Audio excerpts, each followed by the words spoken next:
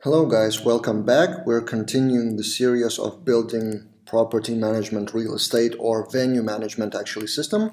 Similar to that one Hire Space, I will remind you this is the third video in the series. So we're building venue management, venue booking system uh, on the basis of real estate uh, theme, Bootstrap theme.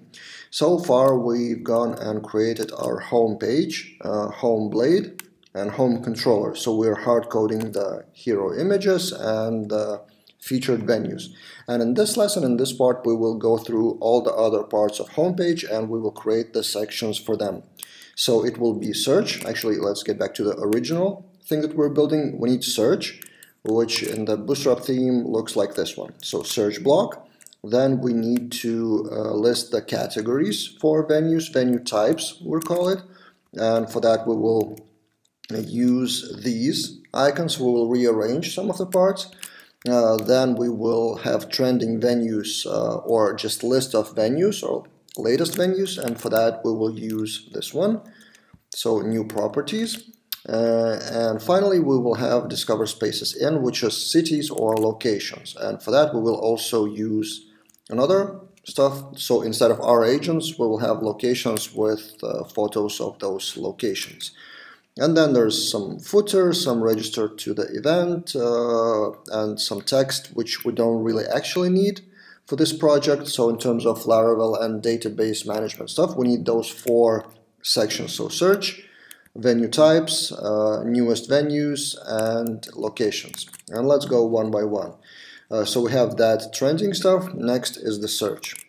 Uh, search in front blade, which we've copied from the theme, it looks like this one. So just hard-coded values, and not everything is needed. But let's copy that from, from the front blade, that part, to, uh, yeah, so we need to copy and paste this one into actually front, uh, into home blade. So front blade will be like the, uh, the overall front uh, theme, like parent blade and in home blade we will actually have those um, those home parts home page and later actually in later videos we will rearrange so home blade will have includes on all those partials but for now let's take it all to home blade. For now we have only slider for featured venues and here we have uh, search. Now what sections do we need for the search? Uh, in the original theme it's event type which is a drop down it's a fancy drop down. We will make it a regular drop down. Now people from and to, so amount of people. Actually, it won't be from and to, it will be in just drop down number. And then location, and then search spaces. So we need only three, uh, three things uh, on top of this one. So instead of this one, uh, so we need a drop down, we will call it select offer type. So select uh, location, no, venue type actually, venue type, uh, ID venue type, let's put it this way. And the options will be all the venue types, and we will fill it later for each venue type, sorry, for each venue types as venue type. We'll have option of value venue type ID and then you type name. We have that already in the database and we probably will need a seed for that. So option for each. Okay. So for each venue type, uh, later we would need drop down, but not a drop down, it should be a number field. So I input input type number a number would be people basically amount of people. People amount. Let's call it people amount. Let's see how it would look for us. Uh, people amount class form control and that's it. I'm not sure if we need drop down here but we'll see how it looks. And the third one is also select. So instead of venue type we will have locations select name locations or location actually it will be one location location and actually the first one should be location uh, as a default so people would understand what that is. So we will probably add the same one to the first dropdown, you type, then you type, and location, and for each locations as location. Location ID and location name. Location ID, location name.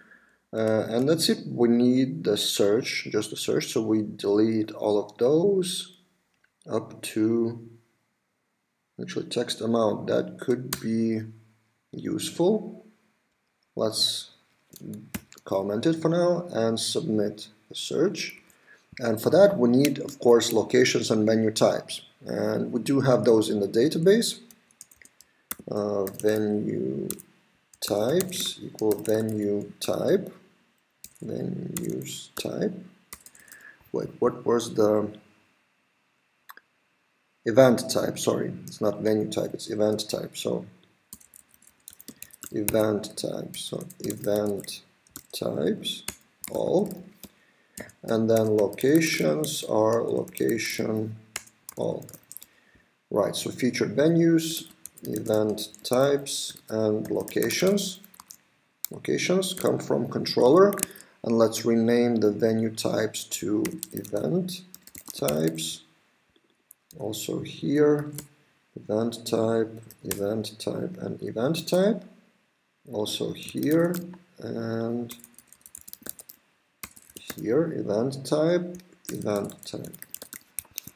Right so we got it here and I think that's it. Let's refresh the page and let's see what the search look like. Right we have an error unidentified offset. Right that's the beauty of doing live coding. Let's take a look at the uh, at the PhpStorm. Directive is not closed. Of course. Yeah, sorry, typo. And for each should be and for each, not just for each. Uh, right. Let's refresh the page again. Yeah, we have something now. So event type is I've added something to the database now already. So locations and event types. Uh, that is working and number of people is one or two or three. Actually, let's put the placeholder here. Class placeholder people amount. Let's see if it's shown people amount. Yep. So that dropdown wouldn't work.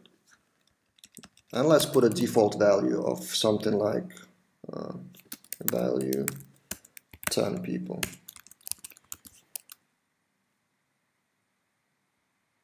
10 people. Uh, now then that, that deletes the, the people amount. So let's just keep it simple. Uh, and we shouldn't probably have arrow drop down. So people amount is one or more. Uh, actually min should be, I think, min is one. I think that's the HTML, so you cannot go lower than one. Yep, and that's it. Uh, right, so we have these, and the search should lead to the result, which we will implement later. But for now, we have search section uh, already in place. Okay, so that's number one. Number two is the list of uh, venue types. And for that, we will copy another section from a little down below from the original theme, which is our services. So let's copy that from the front blade. Our services should be a little below here. So we copy it side section, all the side section up to home blade under the search, right? We copy it here. Actually, let's just refresh and see if it works. How does it look? So search and then our services. Uh, we don't need those property locations here. Our services, so this one.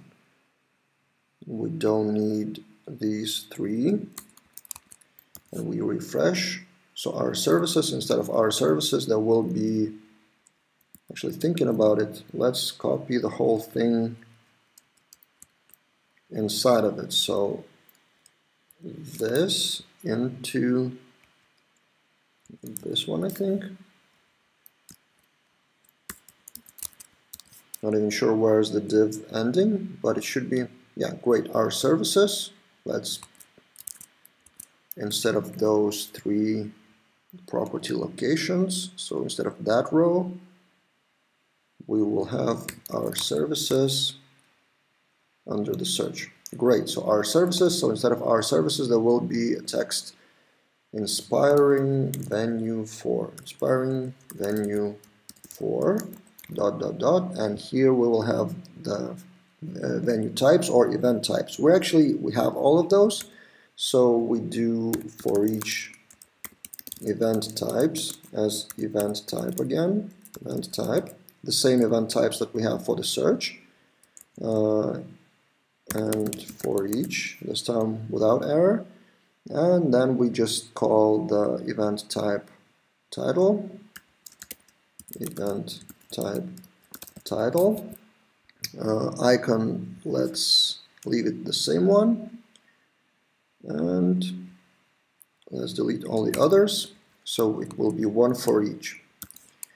Right, our services, inspire venue for, it's not title, it's name, its name for that venue type. And if we add more of those in the database for now manually uh, something like that later we will create the seeds. So AAA and BBB so inspiring venues for and later when we build the pages for actual categories uh, we will link that to the actual list of the pages list of the venues. So we've done that part. Next part is the trending venues, which is like the newest venues. And for that, we have, uh, sorry, close that one. In the front blade, we have property details. So this block, new properties for you. Side section bg light, which is with background, I think. So we copy all of that into home blade into here uh, actually not copy but cut. Uh, let's refresh the page and see what we have here. It should not change actually. New properties for you it's just inside of the other section now. So new properties instead of new properties we will rename that to new venues. New venues. Venues. Venues. Uh, and again we do for each here so for each venues, we don't have venues yet, or latest, new, newest venues. Venues as venue. Uh, and newest venues will be newest venues will be venue latest get latest is order by created at descending I think it's the syntax we will tested. So newest venues, it will be empty for now, uh, but we'll see. Let's leave everything here hard-coded for now and for each. And then we fill it in with details. And we don't need pagination here for now. Pagination, we will add that to the actual result page, listing by category or by uh, location. And for now, latest, uh, I think it's uh, get, what is the take? So take 6 and then get. So this is the syntax and let's add something to venue. For now, hard code. Uh, name, slash, address, everything is nullable, is featured now, location ID 1. So we should have something. Let's refresh. Properties, yay, we have one property, exactly what we needed. And now let's fill it in with actual data. Or actually, let's leave that to the end because uh, we will work a lot with the venue details and we will fill it in with actual details a little later. Uh, final thing on our home page, uh, we need to add uh, the discover spaces in, which is location. And for locations, we will use our agents section. So on front blade, we will delete, delete, what is that, our agents. So this part is not needed. Our blog, we won't have a blog in this project. So blog is not needed and our agents will be copied from here into, into our home blade like this one and we will delete from the front we don't need that just for you section and footer. Let's leave the footer as it is. Let's refresh our page and let's see if our blog is gone now. So yeah new venues and our agents instead of our agents it will be locations uh, or what was the text in the original discover spaces in. So discover spaces in and here we have locations. Uh, right slide item. It's a slider. So for each locations. We have them from the same loop uh, for the search. So slide item and for each and for each. Would delete all the others other slide items. So there may be more slider items. So for now we'll have one I think. Uh, let's just test it if we have anything here. Refresh the page. Should be location and one discover spaces in. Uh, for each location, slide item. For some reason it's three, three spaces. Maybe it's uh, the smallest amount of potentially possible spaces or event types or locations. Let's add more locations here. Uh, something sorry, hard coding stuff now. And for three locations, what do we have here actually? Uh, let's change the Megan Smith to location name. Location name and see what we have here. Yeah, we have three different locations with their photos, which we'll add a little later. Uh, and it's already sliding, trying to slide, but it's sliding to a different, to the same three parts. So yeah, we have already pagination, so it works by default. And these sections will be filled in with more data as we go through that. So for this lesson, it's pretty much enough. Uh, we will clean up all of those uh, a little later, probably in the next lesson actually. I'll do the cleanup, uh, at least for something but here we have homepage now. We have featured venues, we have search, we have uh, inspiring venues for categories, we have new venues, and we have uh, discover spaces, spaces for locations. In the next lesson, probably we will do some cleanup. And for that cleanup, we will need database seeds for actually fake properties, fake venues, fake locations, and fake uh, venue types, event types. So stay tuned for the seeders and uh, cleanup of the homepage.